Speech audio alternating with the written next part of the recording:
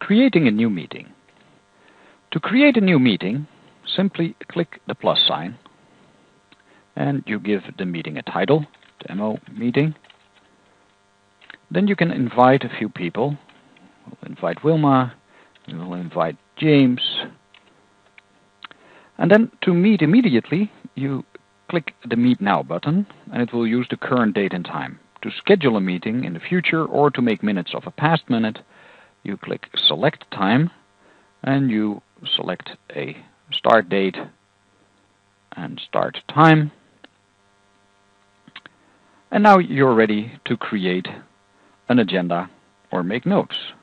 Please note that instead of entering all this information here, MeetingKing can also import this information from a meeting request you create in Outlook, Google Calendar or iCal. That's of course much faster, but we'll explain that in another video.